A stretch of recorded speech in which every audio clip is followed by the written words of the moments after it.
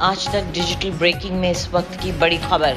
Comedian Raju Srivastava की हालत गंभीर। डॉक्टरों ने राजू श्रीवास्तव को ब्रेन डेड घोषित किया। परिवार कर रहा है ठीक होने की दुआएँ। जिम में गिरने से बिगड़ी थी राजू श्रीवास्तव की तबीयत। फैंस भी कर रहे हैं राजू की सलामती की दुआ।